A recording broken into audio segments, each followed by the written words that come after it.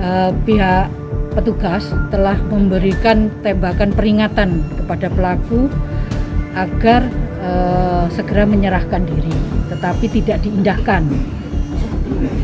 Uh, sedangkan korban itu teriak-teriak minta tolong. Akhirnya setelah dikasih tembakan peringatan, uh, pelaku ini tidak mengindahkan. Akhirnya oleh petugas dikasih tembakan terukur, tindakan yang terukur. Medcom.id, a part of Media Group Network.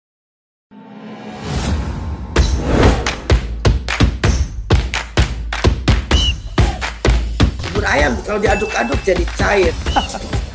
Seriously? Diaduk kayaknya ya.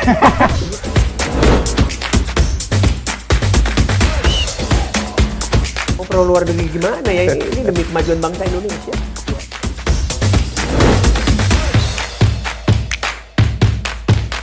Isu kebangkitan uh, PKI ini uh, dihentikan.